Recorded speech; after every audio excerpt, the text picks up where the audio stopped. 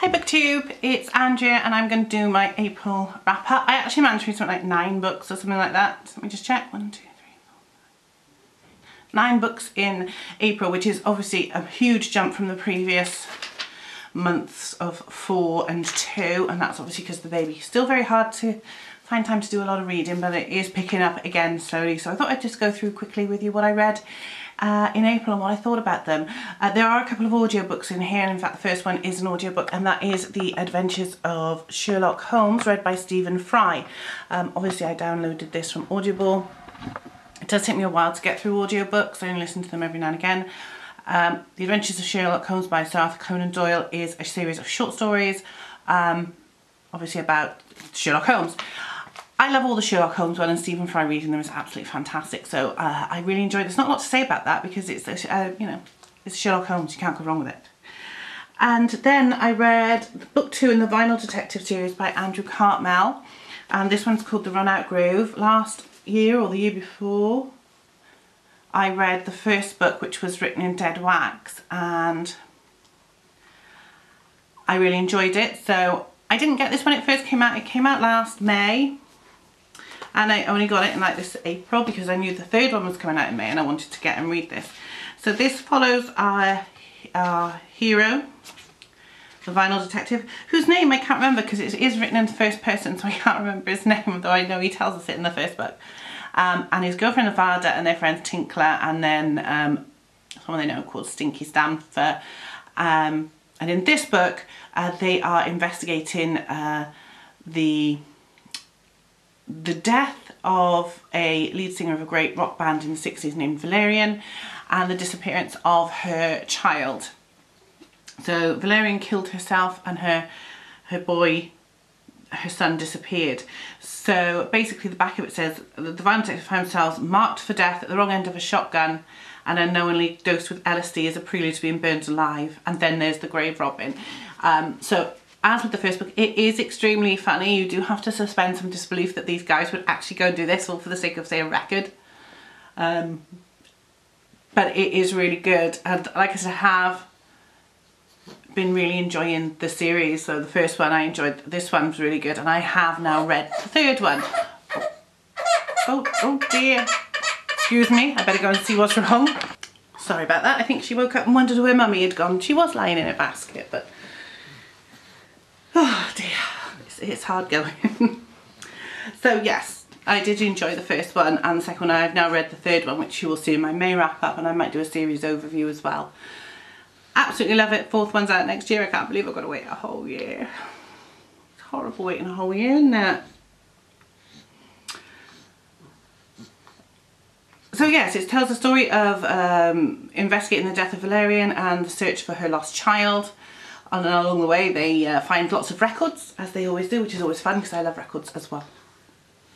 So I enjoyed that one and then I read The Battered Body Beneath the Flagstone and Other Victorian Scandals by Michelle Morgan. There is a full video review of this on the channel um, so if you want to check that out if you just go into my previous videos you should be able to find it. Basically this is a non-fiction book which um, looks into various scandals from the Victorian era, mostly murder, some adultery.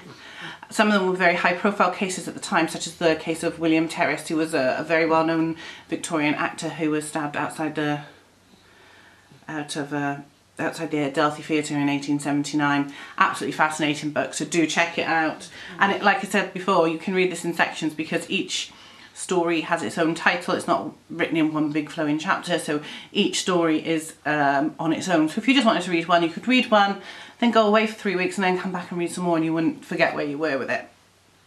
So that's definitely a recommendation. I always recommend Michelle Morgan's books because she's just an absolutely brilliant author.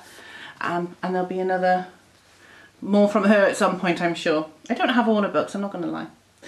Uh, next on the list after that was the new Jodi Taylor book, An Argumentation of Historians. This actually came out in April. I had it a week before release date because fortunately for me, my partner works in Cardiff Bay where Accent Press's oh headquarters are. Oh, darling girl, come here. Oh, come here. It's all right.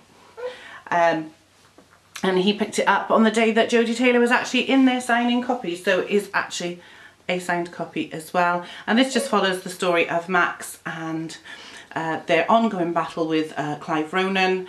They go to see the uh, accident uh, of, that changed the personality allegedly of Henry VIII um, when he was jousting. Um, Clive Ronan shows up at some point in one of the stories.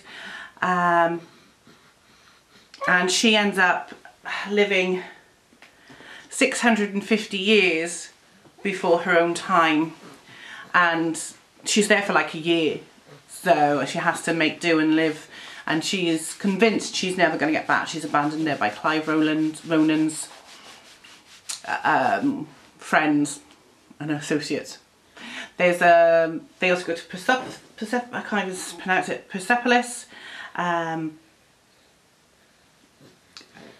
and then back to St Mary's. It's so hard doing this with a baby. Uh, back to St Mary's where there is a traitor in their midst and they discover who has been assisting Clive Ronan and how he knows what's been going on and how he can get stay one step ahead of the St Mary's crew and the Time Police because they have a spy in their midst. But who is it? You'll have to read the book to find out. Uh, after that it was Stephen King Book of the Month, which is The Girl Who Loved Tom Gordon. This tells the story of a young girl named Trisha who is out hiking with her mother and her brother when her mother and brother start arguing. So sick of their constant arguing, she walks off the path to say, she says she thinks she's going to need the loo. She doesn't really, but she does it deliberately. And then when she turns to go back, she can't find her way back to the path and she's lost in the woods. And it spends the next four days, of how, few days of how she survives in the woods with the few supplies she has and her Walkman radio listening to the um, baseball game and Tom Gordon uh, is her imaginary friend during this time. And she does survive. It's a great story. It's a different one from Stephen King but I really really enjoyed it. So I'm really enjoying picking up these um, other uh, Stephen King ones that I wouldn't necessarily have. They're really short as well which is very handy with a little baby who managed to get lipstick on her head because she just hit me in the face. You gorgeous girl uh, after that, I listened to another audio book, and this is a short story by Jodi Taylor. It is from the, the Chronicles of St Mary's, and it is called The Battle, the, the Battersea Barricades. And this tells the story of the People's Revolution of in the United Kingdom. The government was trying to uh, restrict freedoms. Um, all the other countries have sort of dispersed um, nobody travels abroad anymore because they just can't get there. There's just no way of getting around and that's the way it stands in, uh, in St Mary's time, which is only a few years into our future. And it is a really funny one. This one had me laughing out loud because there's one scene in it um, where they talk about a member of the royal family coming back to take over to help and the Princess Mary was the, the was the name um, comes to Cardiff because that's where it all started and makes an impassioned speech from a derelict bookshop in West Bute Street, which of course is Accent Press's bookshop. And Accent Press publish the Chronicles of St Mary's. Jodi Taylor's a frequent visitor to that location. That just made me laugh out loud because although she didn't name the bookshop, it was obviously that it was Octavo Books in Cardiff. Um, it was a great bookshop and cafe bar if you really want, if you're in Cardiff Bay, just head to West Bute Street and go there. So as another funny, great little story to tide us over till the next full-length novel comes out, which won't be, uh, I don't think, until next year, but there is another short story coming out soon called The Steampunk Junk, Jump, which we're all looking forward to. Uh, so yeah, I love the Chronicles of St Mary's. Again, at some point I will try and do a series overview of all the books, but I want to reread them uh, before I do that. And then, obviously with the audiobooks, I will put a picture of the cover up here. So Same as I do if I've read a Kindle book. I'm not reading my Kindle at the moment. I don't know why. Hello. All right. All right. Uh, then I managed to read quite a thick book, which is Deja Dead by Kathy Reichs. This is a, one of the Temperance Brennan stories. Um, so, oh, Jennifer, she's banging her head on me. Come here. So basically some decomposed bodies have turned up and Temperance Brennan sees a connection and she says, right, we've got a serial killer. People don't believe her and um, they find it hard to uh, believe that it is a serial killer just because of the, there doesn't seem to be anything to to link the the people, the victims. However, she keeps digging into it as a serial killer and becomes a target herself. And in fact, her friend Gabby becomes a victim of at least one of the killers in this book. There is more than one.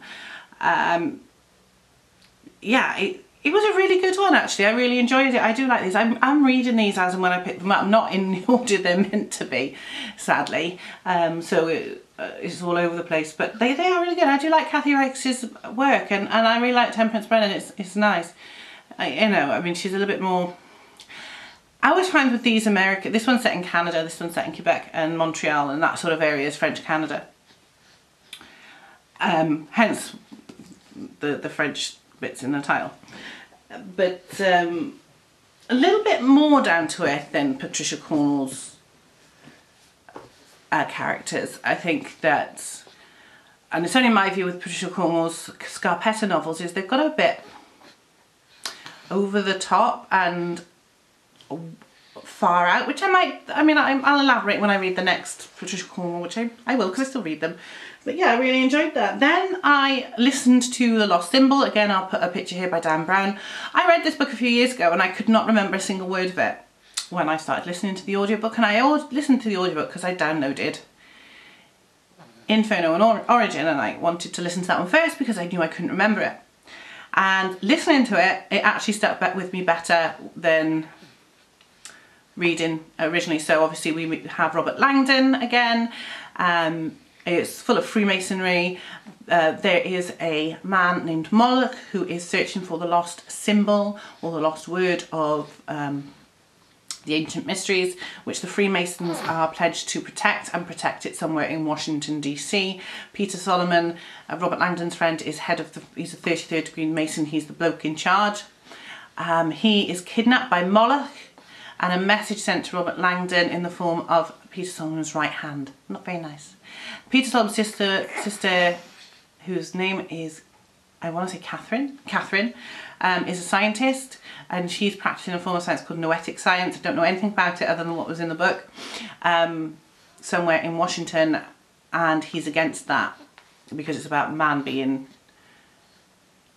more spiritual and, and it's quite a complicated plot line.